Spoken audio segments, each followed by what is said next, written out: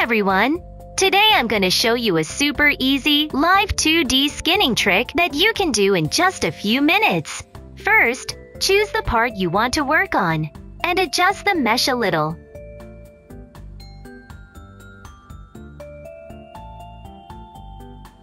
Next, grab the Deformer Path tool and create some lines and points for Create Skinning.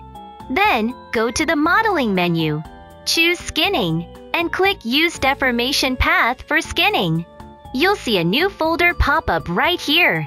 Now it's time to add a little physics.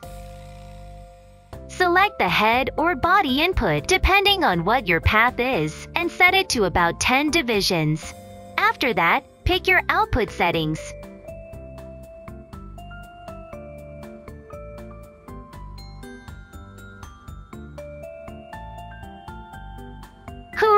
You're done!